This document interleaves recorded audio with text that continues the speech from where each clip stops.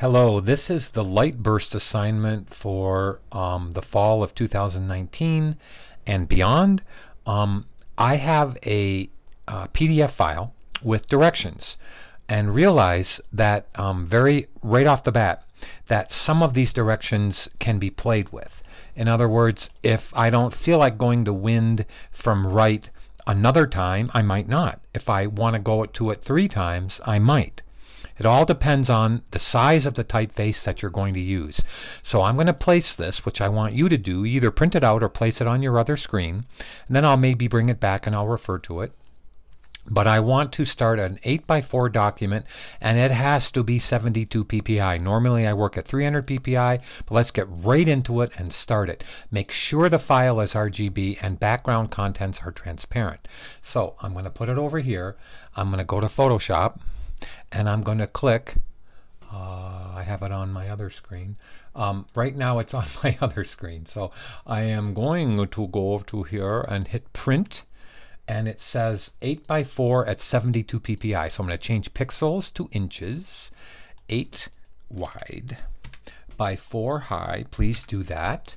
And I'll, of course, keep it at that landscape, um, that orientation at 72 ppi. So let's go here, and now let's just expand it. Now I can hit the F button and just um, hit command zero and it'll just go to full screen but I'm going to hold my option and middle mouse button to just put it up there kind of reasonably and I have the character palette here because I want to choose a rather bold angular don't choose a rounded typeface the thing that makes the um, I want to put in here um, let me um, hit my thing here and I'm just going to go to a uh, I hit finder and I'm going to go to um, one of my light burst assignments to show you. This is what you're supposed to kind of get all right? A light burst that has a lot of reaction. And what this is is the word light burst with all the corners turns into this background and I don't care what colors you use I don't care how creative you get um, you can actually show me creativity. Um, I'm going to go to my other tab. You see how I have two tabs open and untitled in here? Remember, I'm going to hit Command tilde, the key above the tab key, to tab back and forth. So I can tab back and forth I don't, without even seeing my tabs, okay? So I'm hitting Command Option or Control Alt I to see that I am definitely 8 by 4 at 72 ppi. Let's get right into it. So I need my layer palette on this screen. And then um, word of um, advice. When in you are in doubt of ruining a layer, simply duplicate it because you always have um, the ability to throw away the duplicate layer. Whoops, I didn't want to do that. I just wanted to move this down. And I want to put the layer palette over there for a second. And then let's go for it. Okay, so um, it says on the PDF, it says new document 8x4, background contents transparent. Whoops, I didn't make it transparent. So the easy way to do that is to double click the background, boom, and then um, all I have to do is take um, this background and just hit Command A to select all and hit the delete key. Okay, so now it's transparent. I mean, if I made it white, just get rid of the white, but you have to turn the background layer into a layer by double clicking it. Okay, cool. So I did. now it says um, number two. So you're going to read number two. Okay, there's number two. Type light burst in black font. Um, I say because I used impact for my font and size is 100 points. So I said open the character palette, click on faux bold. Normally I don't want you ever to use the faux down here. See these faux down here? Normally I don't ever want you to use those, but I'm going to type in impact before I even start typing. I'm doing this all in front of you. Oh, and let me go. So this should be as long as it takes you to do this. So let's take the T key and let's type in light burst. Now, that's lowercase. I don't even rem remember, couldn't say the word, where is my tool palette? I don't even remember. I just brought the tool palette over. So there's light burst. Now let's go back and hit command tilde and see that I have just about the right size light burst for this. Okay. Now obviously I just want to center that. It doesn't have to be perfectly centered, but I have a lot of good angular stuff working here. So back to here. Don't miss a step, but don't be afraid to command Z back or control Z back and if you don't like something duplicate the layer and then like go back a step okay? Or go back a step and duplicate the layer and then keep on going forward. But um, it says open the character palette click on faux bold uh, command click the layer to save the selection. So we're really not using this and I want to type it in black. So I'm going to click this um, color in the um, character palette and I'm just going to drag this to the bottom right not the bottom left. And I'm going to hit command S to save. Here's my save window so I'll say Brian or I'll just say light burst underscore Brian. And please put your name in there. You can even put your last name. So that's what you're going to turn into me okay? I don't want your JPEGs I don't want it unless I specifically ask for it. So Okay, and I'm saving it into um, not the right place. So let me go to my right place. Um, oh my goodness, this is taking way too much time. Okay, so let me go to student 1200, 2300. Is this where I want to be, Mr. Sauriol? Oh, goodness gracious, it's taking too long. I want to get that wider. Okay, let me pull it down. Uh, student 2300, no, that one, that was it. 1200 modules, uh, fall semester, and light burst. So now I'm saving in, make sure you save into the right place, and I'm saving into the right place. Okay, cool. Now let's read what it says next. Okay, so it says everything, and then read it here. Now, I'm going to click on faux bold. I didn't do that yet. Then it says command click on right on the text layer. Command or control click and save the selection. And I'm going to show you in channels, which is why I have channels right here. I want it to turn into a channel. So I'm going to um, command click not on the word light burst over here, but right on the T right there. So I've command clicked right on it. Go to select, save selection. Let's call it um, light burst and let's hit the return key. Okay, cool. Now look at down here. I have a light burst, black on white. Okay, so we're not really using this text layer. We're only using it as an art form. That's really important, and my dog just barked, so that's cool. So now it says deselect the selection on number three. Make a new layer, name it white text. Now what we're going to do is we're going to create a new layer and use this, so I can even turn it off. So we're gonna, I'm gonna deselect, I'm gonna make a new layer, and I'm actually going to fill it with black right now. So I'm gonna take the foreground color and make it black. Now I'm gonna hit Alt or Option Delete or Alt Backspace and fill it with black. Now, I want to command or control click right on the T. Do you see what I'm doing? Now, do you see it on screen? It turns into a selection. Make sure you're clicked on layer one and then make the foreground color white and just hit Option or Alt, Backspace or Delete, and Command S to save the file. Now I can deselect. Now let's read and see if I did number 3 correct. Yes, I did. It has to be white text on a black background. Now, we're going to duplicate the layer and rename it Light Burst Effect. Then it says go to Filter, Blur, Gaussian Blur 11.5. So let's do that. So let's, um, first I'll name this, um, it says duplicate the layer. So I'll even say, uh, even though it wasn't in my, I'm saying that that is the original, if I spelled that right, O-R-I-G. I always spell that wrong. Original. O-R-I-G-I-N-A-L. Is that correct? Okay, uh, I had to ask somebody. Hey, I'm an artist, okay? So let's duplicate the layer. How do you duplicate it? You drag it into the new layer icon, turn off the first one, and let's name this light burst effect. No spaces. And I am good to go. Yes, I did. Hit the return key while that layer is selected, I'm going to bring this over here again, go to Filter, Blur, Gaussian Blur 11.5. So let's go to here, Filter, Blur, Gaussian blur 11.5. I'm bringing this back here. I use my other screen a lot, so that's why I'm always doing that. Let's go to 11.5. I should just type it in and then hit the return key. Okay, now let's go here and do it. So now it says duplicate the layer. I'm sorry, it says go to filter, stylize, solarize. So I don't think I need to duplicate the, the blurred one yet, but I am going to probably do it when I get somewhere down here. So let's go to Filter, Stylize, Solarize. So um, with it selected, Filter, Stylize, and Solarize. Now look at how it made this really cool thing here that goes around it. Now I want to duplicate it at this point, which is I think what you should do. So I'm actually going to name this number 2, even though it might not be in the directions. I would do it, hit Command S or Control S to save.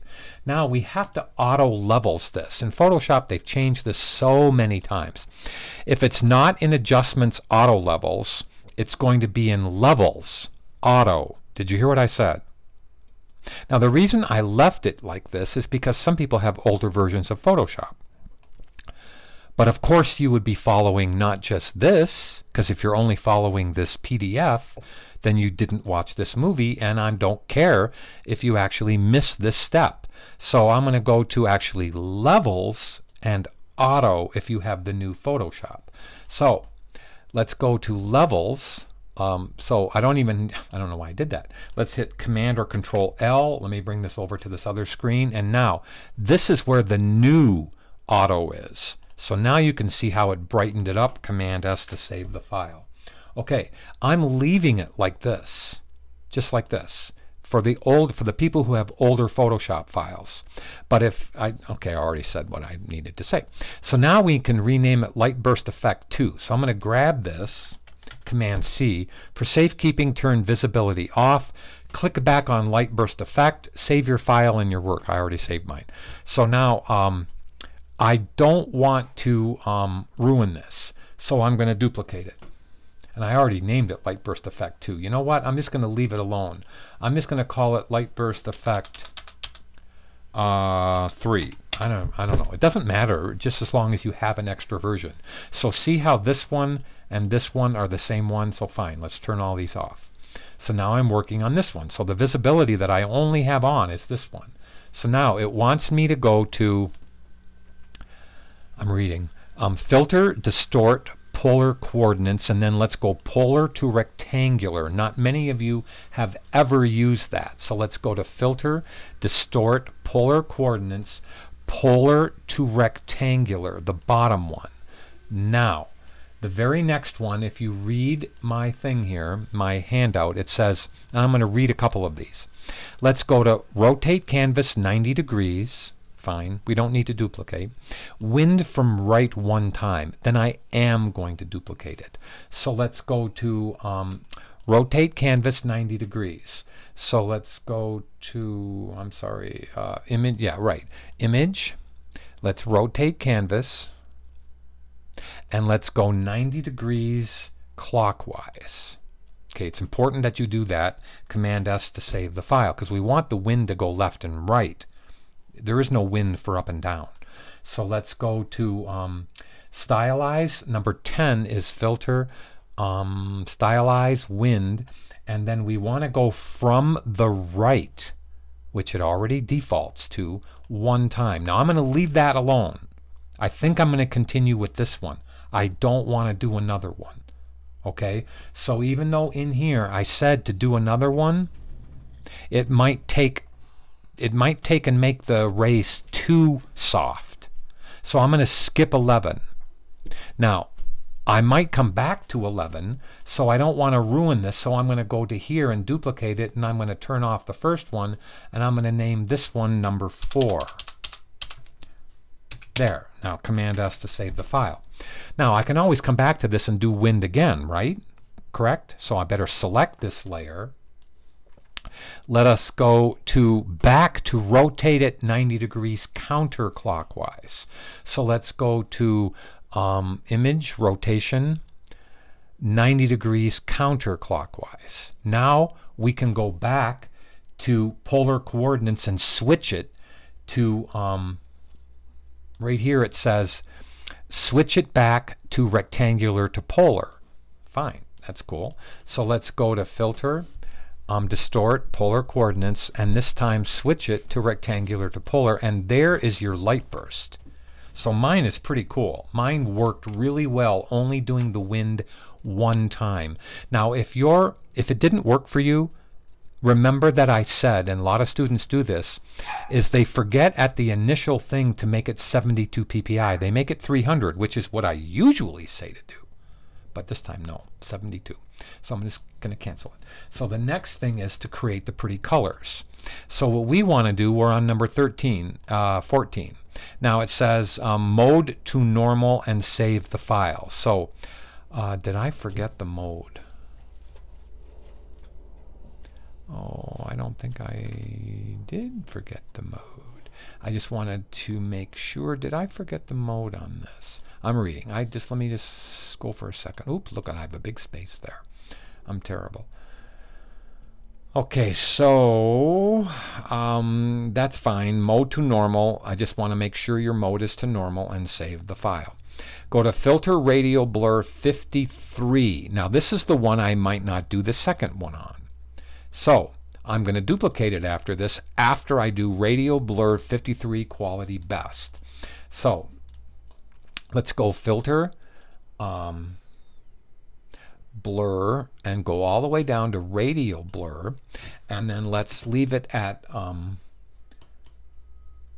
zoom let's make sure zoom is selected and let's go quality best and then all the way to 53 so let's click OK now what that's going to do is it's stretched it out so let me go command Z back and now forward see how that stretched it out and it actually smoothed out the whole interior now it says uh, I better duplicate it.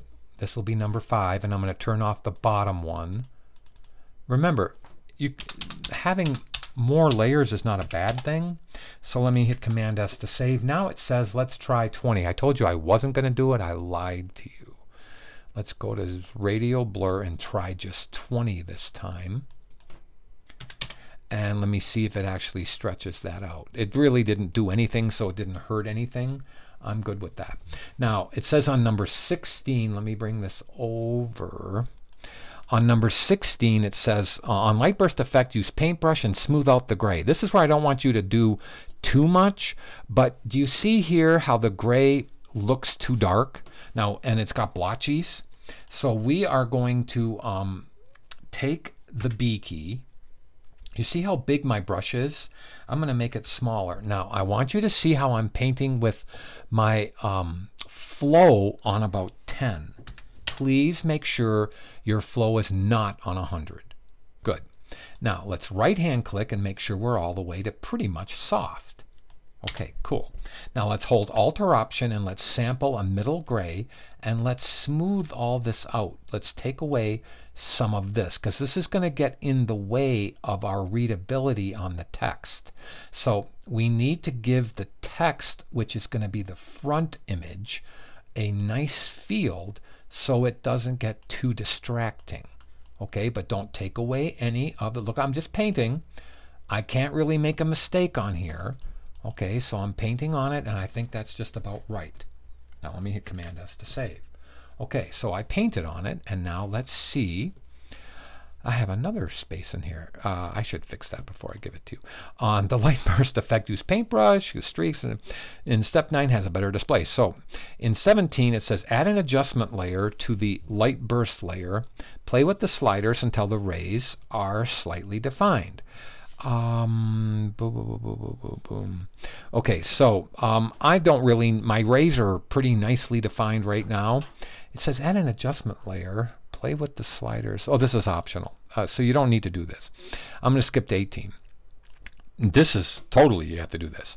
Make a new layer, call it cover overlay, move it above, make sure that we're doing a layer fill with linear gradient or radial gradient. I used green to blue, you can experiment. So um, I'm just going to do this quickly. You can experiment. So new layer, let me just say this is color overlay. Oh, this is Jerry. Hello, Jerry. And let me um, play with this. So what I'm going to do is, um, Let us go to the G key. Let us go to a um, like a circular or a radial gradient. Now in here, I'm going to try a few colors. Okay, so um, I can just pick one right here and I'm going to see what the center's like. Let me try to go to take this color stop right here. This is the opacity stop. Here's the color stop. So let me make this a really pretty, um, I'm experimenting here. Let me make this a bright blue and let me make this one a really pretty magenta. Now let's try what that's going to do. Let's see what that's going to do. Now I can click new and I now have a new one. See, I didn't ruin the old one. I just made, I used the old one to edit my colors. Now, if I go from the center out, I have the blue. So if I go from the center out a little farther, I have more blue. Now what I want to do to that is um, I want to put the color, the mode of this right here. I want to go down to color. Now, um, what I also want to do, and um, see how this ends really harshly here? See how that ends really harshly? I now remember that, let me bring it over here. I now remember that, um, and I have to remember what I tried to remember. Um, the gray, uh, the rays are slightly defined. So um, there is one step on here that is going to smooth out and take the edge of this. It's on, let me turn this off, which is the color overlay. Let me hit Command S to save. If I want this to smooth out and I want this to not have such an edge to it, um, I am going to take it to gosh, I almost don't remember, to an overlay layer? No. Um, I might have to pause this video for a second and remember what it is I did. I think what I did was I just, gosh, and blurred this one. Let me read my thing. It says optional. Make an adjustment layer to the, play with the sliders until the rays are slightly defined. Um, I'm going to continue with my color overlay layer and I'm going to, actually I think that's really pretty. um, I think I'm going to continue and um, let me try to put this on like a multiply mode, nope, or a screen mode, nope, overlay. Okay, there, there that's it, that's it. Um, on my um, handout, it says go to color. Now, if you go to overlay, it smooths out the edges and that's all I wanted to do. So I've done this for so many years, I actually forgot, which is okay. So the modes are amazing. So um, you know what? It actually is called overlay. So rather than using color, I should have used overlay. Anyway, that's okay. And now um, we're done.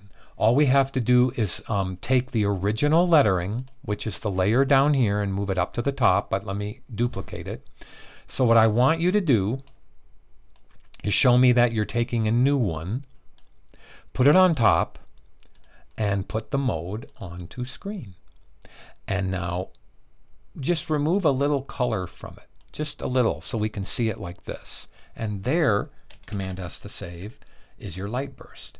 Now if I hadn't taken, see how it looks blotchy underneath? To me it does. So now that looks just so much better. So save this as a PSD file and give me, upload the PSD file. And then you can experiment. I don't care if you want to try this once or twice or three times, but let's go on to the next one and um, I will see you on the next one.